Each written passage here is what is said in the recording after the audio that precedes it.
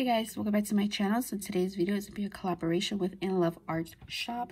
And um, they were kind enough to reach out to me to see if I wanted to review some of their dies. So I was really excited to um, pick out some dies and review. So these are the ones I picked out.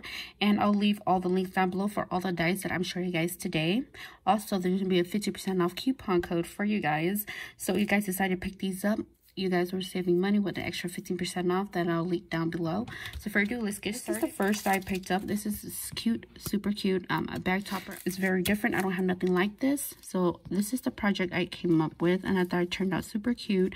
And I did use the crepe paper snowflake um, collection and I just added some dimensional. That's the first one I picked out. And then the second one is this second bag topper. And I what I love about this bag topper is the super detailed on this and how it comes with two different sizes which is amazing. I really like that small size just in case you know when you want to do like small packaging i'll have a small size for that. And this is what i came up with. I thought these are turned out super super cute. I did some layering on here again as well.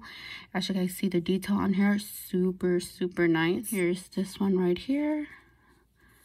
Again some I love the layering on here. Super fun.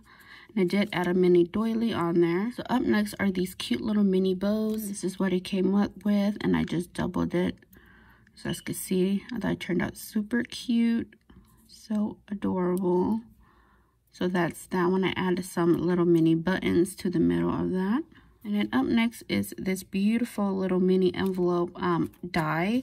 And I thought these would be super cute for flat mail if you guys want to do like flat mail or even like a little mini loaded envelope. I think this will be super cute for it. And this is what I created and I thought these are super cute. Again, I'm using the Crepe Paper Snowflake collection and I love the detail on here. I think that was really nice. Up next is this die right here. I don't have nothing like this, so I was really excited for this one. The project I came up with, and I did use acetate right here where the window is at, and I did some layering.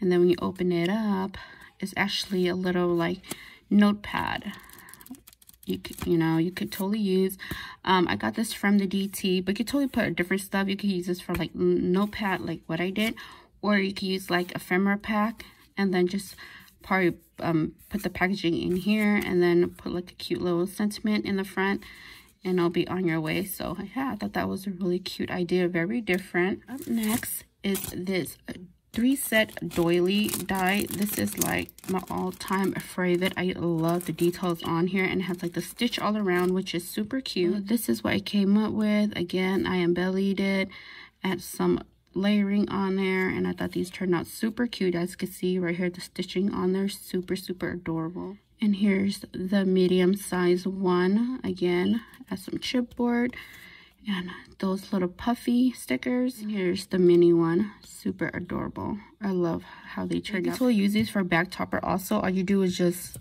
fold it in half and then just embellish it and they'll be awesome for bag toppers. So the last one I picked out is this super cute little snow globe. And I think this one's so, so adorable. I love the size on here. It's perfect for embellishments. And you could totally make a shaker out of it, like what I did. So I made a little shaker out of it using acetate and add those little mini snows in there. Here's the second one.